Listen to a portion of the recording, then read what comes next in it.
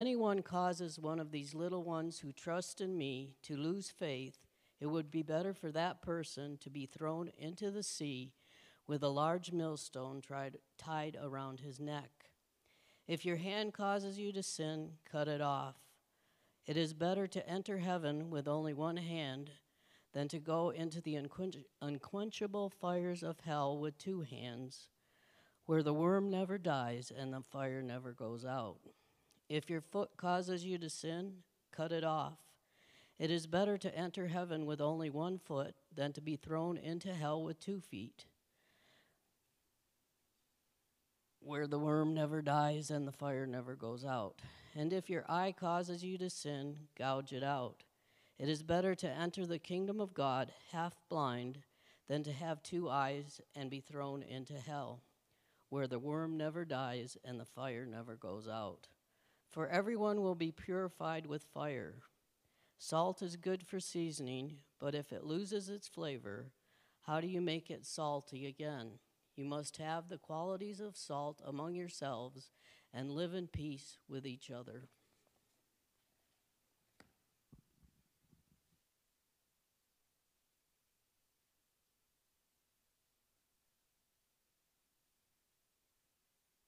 For me?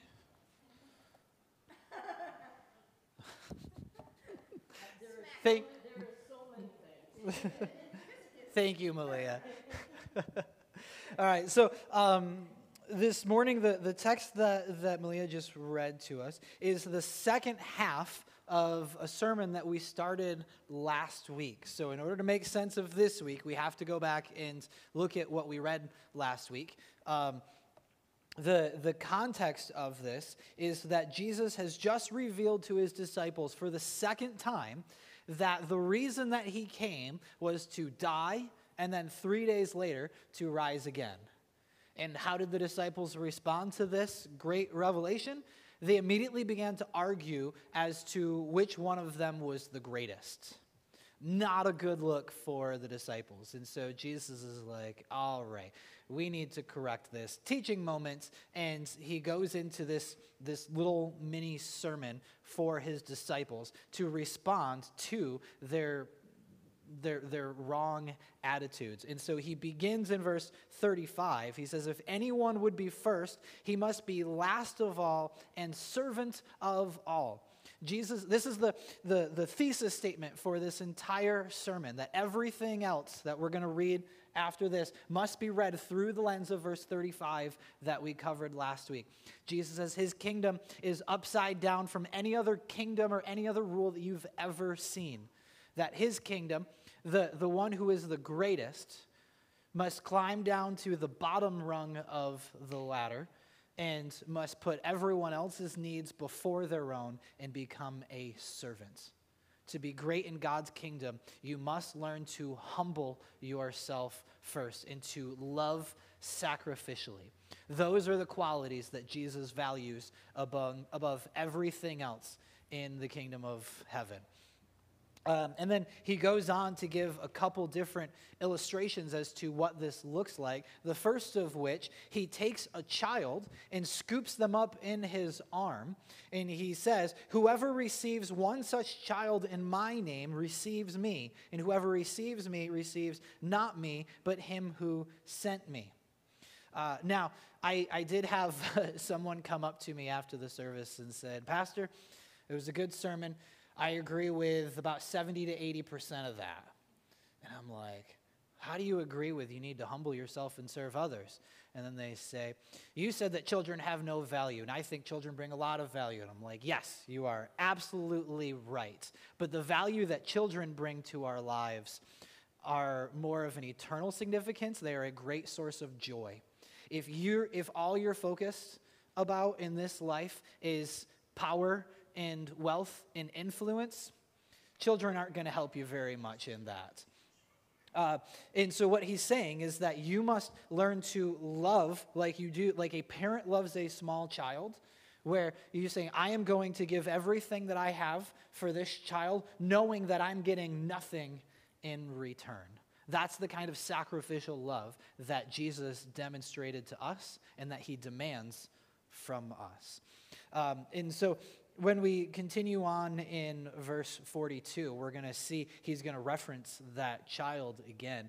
And uh, what we see here in the second half of this sermon is where he gives commands in the first half. Now he's going to give us the consequences of what happens when we fail to heed those commands that Jesus has just instructed. So this is kind of the negative half of the sermon. So in verse 42, the beginning of what we'll cover today, he says, Whoever causes one of these little ones who believes in me, right, he's still holding the child in his hands, right? He says, Whoever causes one of these who believe in me to sin, it would be better for him if a great millstone were hung around his neck and were thrown into the sea. That's quite the verse, isn't it? Um, a couple things we need to define here. So when he says these little ones, obviously he's referencing the child that he's still holding in his hands. Um, but it's more about what do the chi- what does the child represent? Um, there is uh, an ignorance in children and an innocence in that ignorance, in that they don't know any better. Um, and so when he says, sorry, the, the little one, uh, he's not just talking about children. I think it's not a stretch to say that we can expand this to, to anyone who has the, the vulnerability of a child. Um, right? And he says specifically, one of these little ones who are in me, implying that this is a child who is old enough to put their faith in Jesus, which typically is around five or six. Um, but they're not old enough to be able to discern right many of the other things beyond that.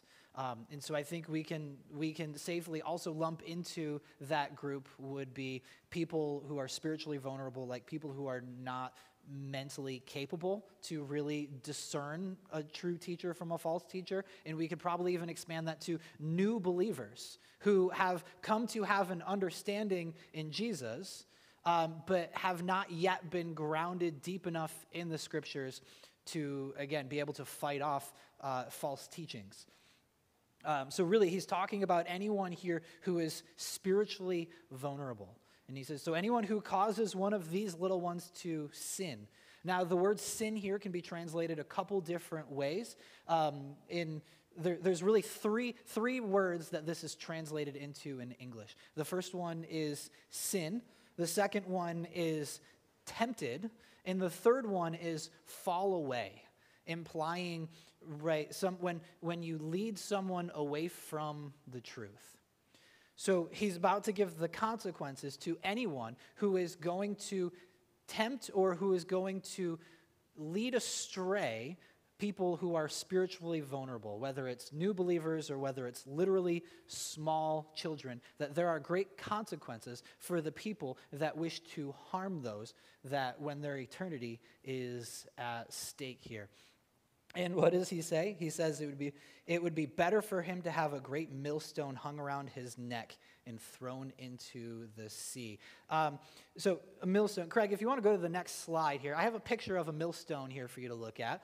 Um, in the ancient world, every town had a millstone, and the people in the town would come and they would bring their grain, and they would put the grain along the bottom part, and then they'd attach a, a large animal, usually like a, a, mule or an ox, and that would just kind of walk in circles, spinning that, lo- that upper wheel that would crush the grain into flour so they could make bread. And so when he's talking about a millstone, he's specifically referring to that top stone, that circular stone on top there. Um, and mills came in various sizes, um, but that top stone would have been probably an average about a, of about 100 pounds. So he's saying, let's, let's take one of those, tie it around somebody's neck, and throw it into the sea. That sounds like something out of like a mafia movie, right? We're going to give them the millstone necktie right? You ever hear like the it was the the mob used to do like the concrete shoes where they'd pour concrete in their or they put their feet in concrete and then toss them off the docks. It's that same kind of thing. A um, couple of things to note here. Jesus was not making up some like gruesome form of torture on the spot. That is an actual thing that the Romans did to people that the Jews were aware of because they watched them do it. And by the way, you don't do something that graphic to somebody just as a punishment. It's meant as a warning to everyone else to deter them from doing the same thing. Do you want to die such a humiliating death like that person? Right? So that's what Jesus is warning of. He's also not literally instructing us to do this. Um, although I can certainly think of some circumstances where I think it would be fitting. Um, right? The point is not that we actually drown people with millstones. What he's saying is that for anyone who would try to lead away some of these spiritually vulnerable people, what I have waiting for them in eternity is far worse than being drowned with that around your neck. Um, and so when we compare verse 42 to verse 37 that we read about last week, when he said, Whoever receives such child in my name receives me, um, implied in that command in 37 is also the, the assumption that we have, that those of us that know better, the rest of us, have the responsibility to protect those people that are vulnerable. And anyone who does the opposite, who does not receive one of these children, but instead deceives them and lies to them and pulls them away from the truth, these are the consequences that you have waiting for you. And we'll talk more about those consequences in just a moment. Um, but let's continue on and let's read verses 43 through 48. He says, If your hand causes you to sin, cut it off. It is better for you to enter life crippled than with two hands and go to hell to the unquenchable fire. If your foot causes you to sin, cut it off. It is better if you enter life with two or with or enter life lame than with two feet and to be thrown into hell. And if your eye causes you to sin, tear it out. It is better you to enter the kingdom of God with one eye than with two eyes to be thrown into hell, where the worm does not die and the fire is not quenched. All right, to understand this, we need to talk about how do we read the Bible. Um, we are very proud of the fact that we believe that the Bible should be taken literally. Right? What the Bible says we need to do. However, it is possible to read the Bible too literally. Um, there was a church father named Origen, who was a very influential man who lived, I think, somewhere in like the three or four hundreds. Um, and the historical sources are a little sketchy on this, but legend has it that Origen actually emasculated himself so as to get rid of that temptation to sin. Now, there's a problem with that. If you chop off body parts, that doesn't remove the temptation. Uh, we could all be walking around like a bunch of pirates with eye patches and hooks for a hand and peg legs and still have the temptation to sin because the temptation to sin is not found in each individual body parts. Sin comes from the hearts if you don't address the root cause of sin, which is our hard hearts, that we love sin more than we love God, it doesn't matter how many body parts you chop off, you're still going to be tempted to sin. Uh, right, so that's why we, we do not read the Bible as like with complete, we don't read it completely literal. We read the Bible literally as intended. It's a subtle but a very important difference. By adding that as intended part, that allows for us to take into consideration things like sarcasm, things like symbolic language. Right? Revelation talks about a red dragon with seven heads and ten horns. Hate to break it to you, there's not going to be an actual red dragon with seven heads and ten horns. But that dragon is a symbol, it represents something that is literally true. Um, in, in this case, it allows us to interpret things like hyperbole. Hyperbole is in ex- using exaggerated language in order to prove a point. This is something that Jesus was a master of. Jesus knew that to reach people, you don't only speak to their heads, but you also speak to their hearts. And so, using dramatic language like this is one of the best ways to do it and something that he did frequently. He talked about um, like a camel going through the eye of a needle. Don't let your right hand know what your left hand is doing. Take the log out of your own eye. Right? These things are not literally possible, but they do teach a very important and a very real point. And so the point here is not that we are literally supposed to chop off our body parts, uh, but the, the real point that he's trying to make is that we should be willing to go to any lengths to get rid of sin. Um, when we talk about how Jesus uses exaggerated language, there is the tendency to go too far in the other direction, and then we begin to water down the point that Jesus is making. And really, what he's trying to say here is that you need to go to, at any cost, to remove the sin from your life. If you have people in your life that are trying to drag you back into the old ways, cut them out of your life. Find new friends. If you don't trust yourself with a smartphone that has a connection to the internet, take a hammer to it, smash it, and buy a flip phone. You'll survive.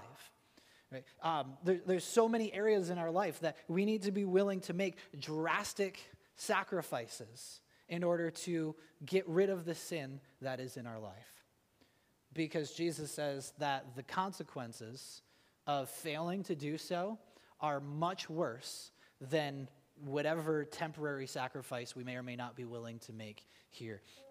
And he says, right, it is, uh, it is better to enter life, or life with one hand than, be crip, or than with two hands and go to hell. Now, I don't really like the word hell here that it uses, not because I'm offended by the word or anything like that, because the Bible talks about hell a lot. It actually talks about hell more than it does heaven. Um, the reason I don't like the word hell here is because it doesn't quite communicate what Jesus is actually saying. Hell can refer to actually two, like a couple different things. Um, in one sense, there's the Greek word Hades, and the Hebrew equivalent to that is Sheol. And Hades and Sheol are both communicate the same exact idea that it's, uh, it's, it refers to the afterlife or the grave, is another way that it could be interpreted. And it refers to a temporary holding place for people's souls after they die. Your body goes into the ground, and their souls go to Hades right? And so, uh, for, for people that have rejected Jesus as their Savior, their souls are waiting in Hades, but that is a temporary holding place. Revelation 20 talks about something that it calls the lake of fire. The lake of fire is the eternal destination of everyone that is currently in Hades. It says specifically that it was made for Satan and his demons and for the false beast and prophet that are two, uh, the false prophet that are um, two figures mentioned in the book of Revelation. And then it says that Hades will be thrown into the lake of fire. So one's temporary, the other is eternal.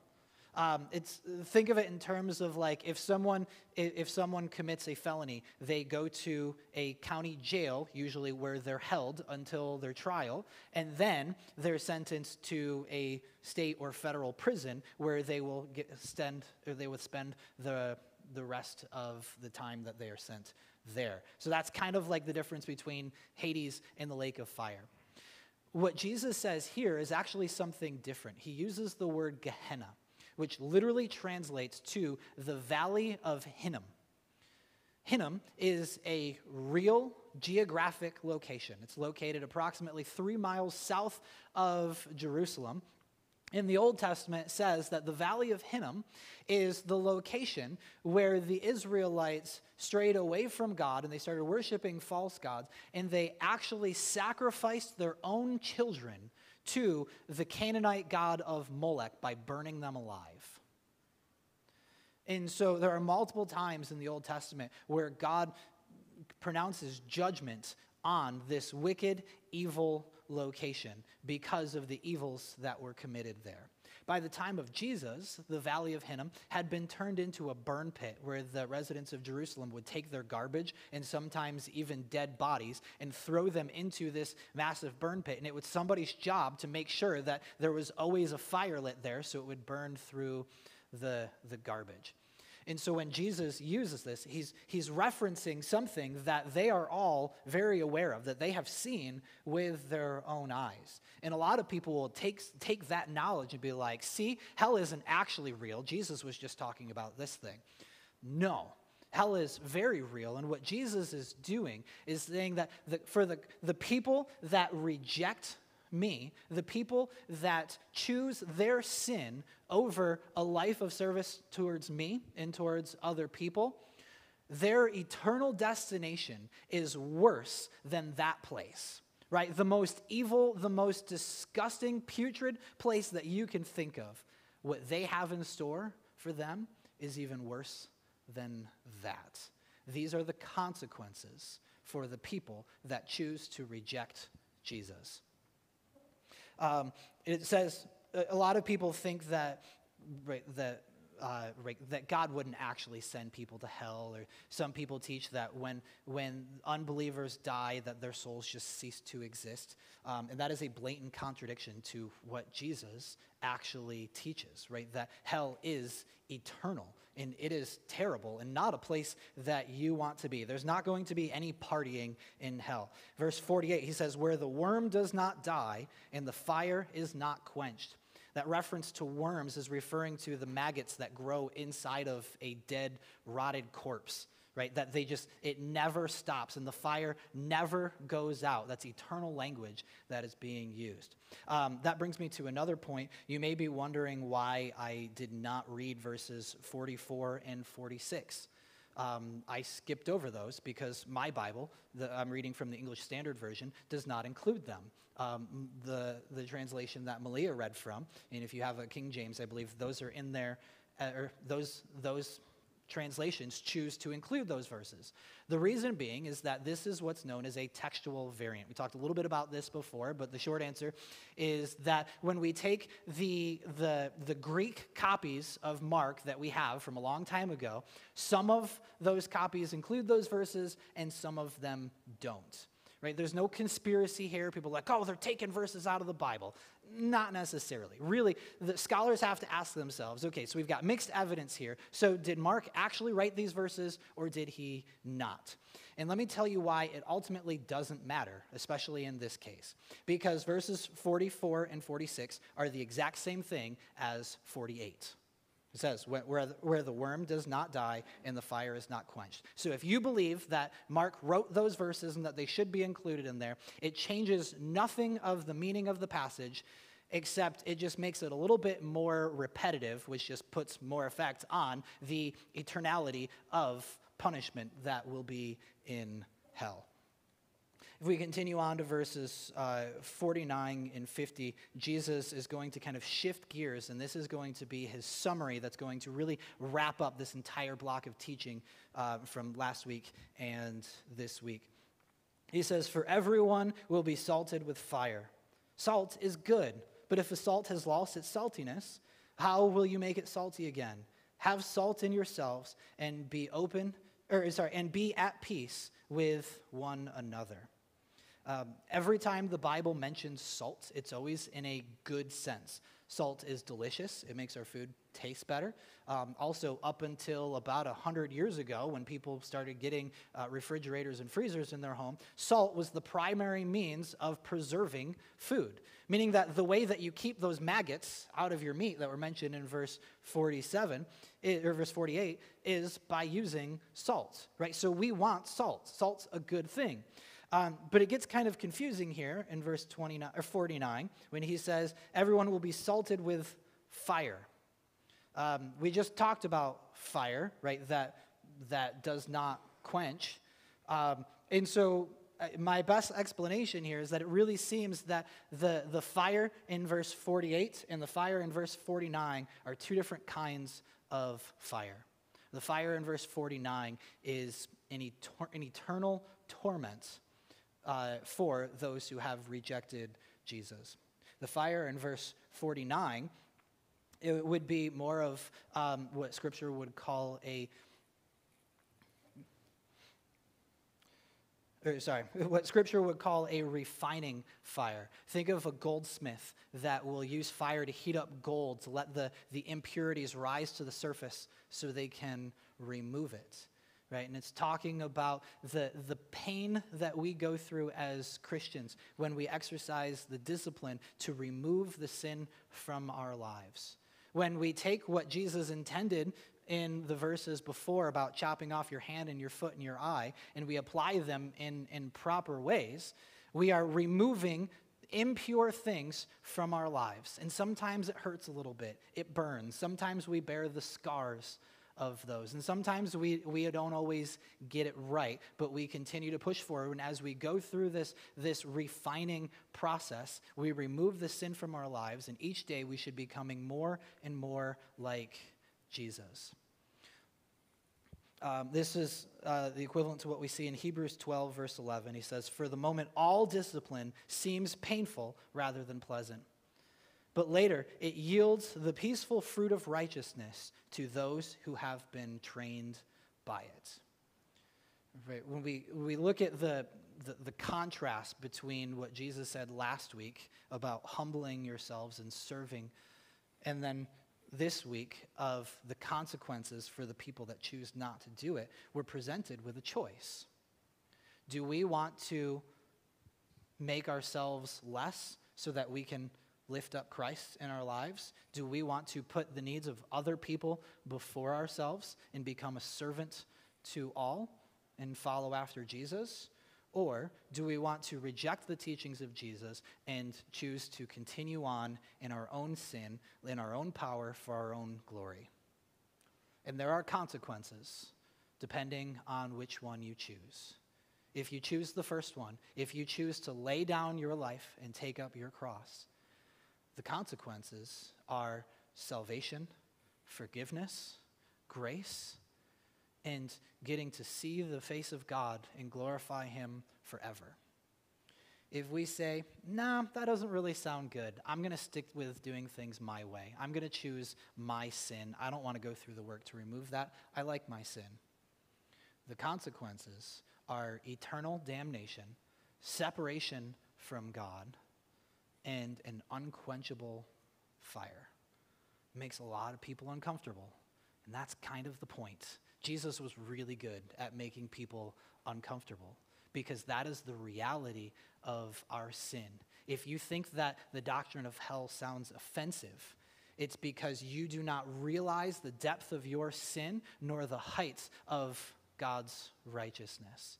And the more we realize just how righteous God is, the more we realize that any failure to yield to his will is a complete rejection of him, and that's what we deserve. And that's what all of us deserve, apart from God's grace.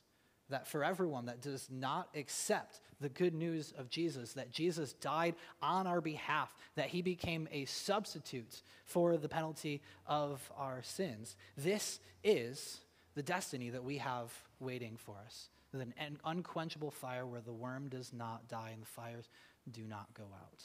I certainly don't want that, nor do I want that for any of you. Right? And that's why Jesus gave us a way out.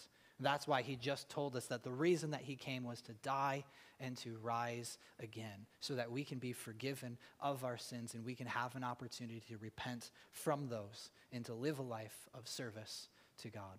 Let's pray. Father, we just thank you so much for uh, not only the, the good news of Jesus, uh, but also the warning that you have given us. And it can be so many people want to look at and say, well, that's, that's hateful, but that's the result of what, when we hate you. I pray that you would just help us to trust you, that you would help us to humble ourselves before you have to do it for us, um, that you would just refine our lives, that you would expose the sin that we still hold on to in our hearts, and uh, that we can become more like your Son. And we thank you for that gift of Jesus. We thank you for the security that we have in him and that for those of us that have put our faith in Jesus that that's not hell is not something that we need to fear because that's not an option for us anymore. Um, but help us to walk in a way that will honor and glorify you. We pray all of this in the name of Jesus Christ, our Savior. Amen.